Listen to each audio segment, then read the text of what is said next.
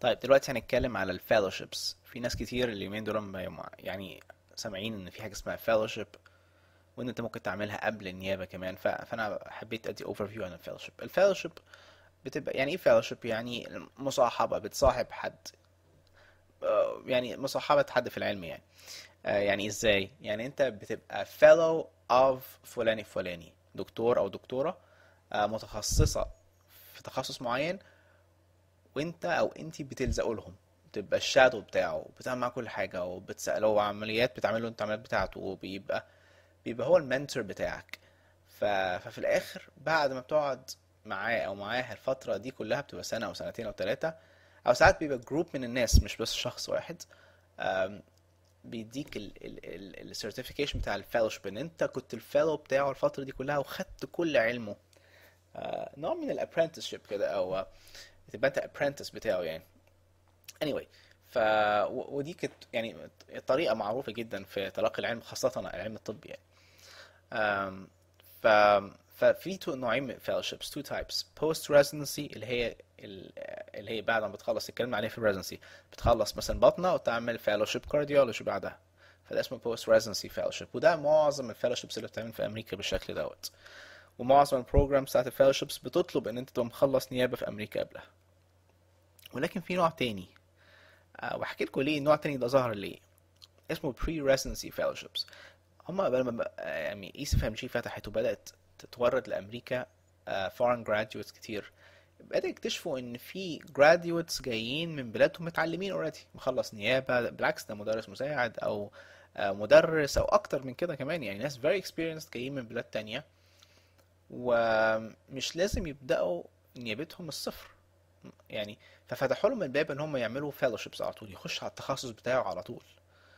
هل هل ينفع كده يخش على طول؟ لازم يعمل برضو امتحانات ال license اللي هي step 1 و step 2 CS بس once إن هو عملهم بدل ما يعمل نيابة ويبدأ من الصفر تاني ممكن على طول يخش على ال fellowship طبعا ال fellowships دي عددها أقل بكتير طبعا. ف ف والتقديم عليها مش straight forward زي التقديم على النيابات. فعشان كده مش مش معروف قوي كده لهذا السبب يعني. طب تعالى نخش على النقطة اللي بعدها. What if I did a residency in my home country؟ يعني إيه residency في اي home country؟ في ناس تقول لي أصل حضرتك أنا عملت آه، نيابة في عين شمس بس ما ما خدتش ماجستير. ما يهمهمش. ما يهمهمش خدت ماجستير وما خدتش ماجستير. الماجستير دوت حاجة بتهتم بيه الجامعة بتاعتك في مصر مش أمريكا. خالص. أمريكا مهتمة بس هل خدت training ولا لأ. ما يهمهمش أنت كنت طبيب تالت ولا طبيب زائر ولا طبيب آه، رابع ولا كنت طبيب آه، مقيم. ولا كنت طبيب آه، وزارة وزارة مش عارف إيه ولا كنت عملت آه، نيابة في آه، جامعة خاصة ولا عملت نيابة في جامعة تعليمية ولا ما يهمهمش كل الكلام ده. يهمهم ان انت عملت training خلاص. خدت training في حتة educational معينة والحتة ديت ضربتك. هل ثلاث سنين لازم؟ لا مش لازم. ممكن سنة ممكن سنتين ممكن ثلاث سنين whatever. هل لازم تخلص نيابتك؟ لا أنا أعرف ناس عملوا سنتين في الأطفال بس وعمل بالعكس شالوا لهم waiver سنة من النيابة. فمش لازم تبقى خلصت الثلاث سنين كاملين. أوكي؟ طيب هل لما أعمل fellowship في أمريكا قبل النيابة رايح رايح على طول على fellowship هل هاخد ال board certification؟ لا مش هتاخد ال board certification معظم الفellowships دي معظمها مش كلها. are non accredited يعني إيه؟ يعني مش معترف بيها جوه أمريكا إن أنت تخش وتبراكتس بيها في التخصص دوت.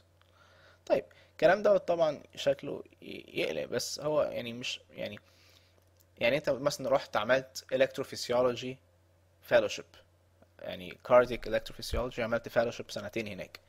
هل ده يديك الأحقية إن أنت تشتغل آه an electrophysiologist في أمريكا وتفتح center electrophysiology لأ لأن أنت ما خدتش نيابة بطنة وما خدتش نيابة cardiology.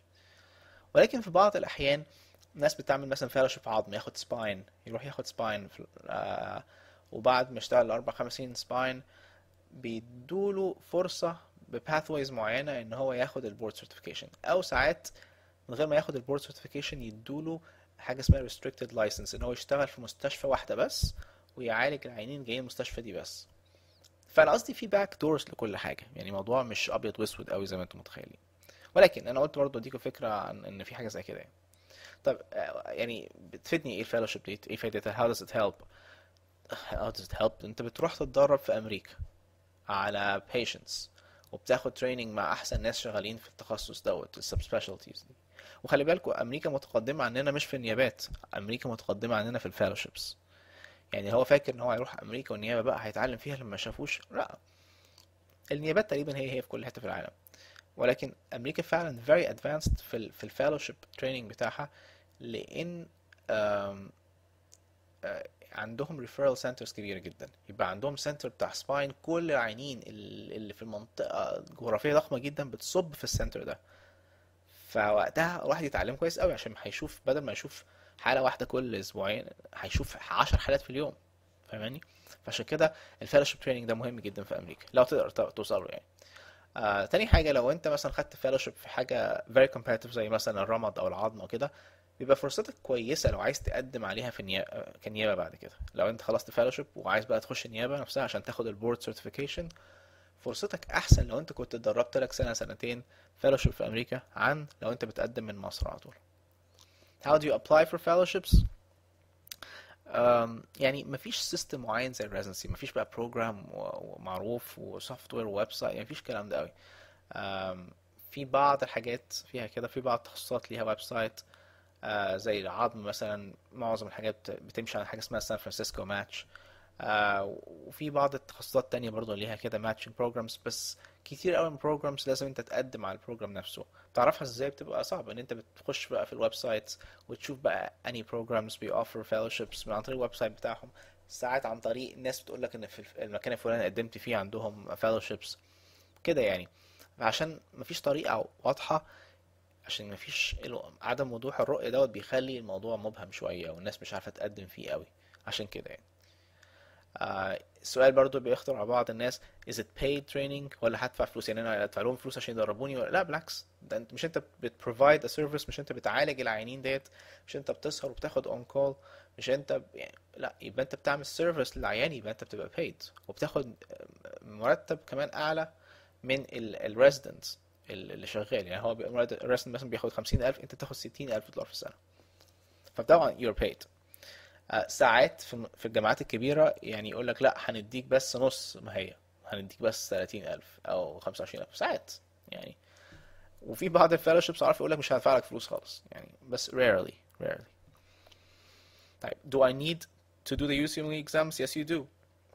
بتحتاج تمتحن step 1 و step 2 CK و CS ومش بس كده في بعض الفellowships بتطلب step 3 كمان. كتير من ال fellowships بتطلب step 3 actually. طيب do I need to score high ال fellowships حتى الآن عشان ملهاش طريقة واضحة ال application لسه مش as competitive as residency الموضوع مش مدروس قوي فاللي بيقدموا scores بتاعتهم مش عالية عامة. فعشان كده ال fellowships دلوقتي زي النيابات زمان من من 10 15 سنة. يعني كان لسه تجيب أي حاجة في ال USMLEs وتخش يجيلك نيابة.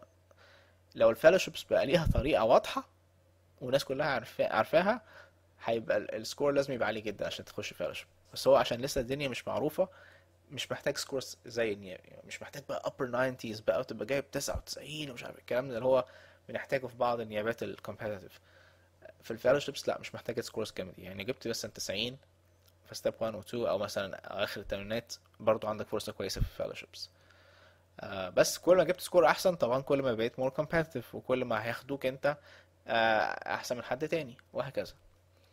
واخر سؤال.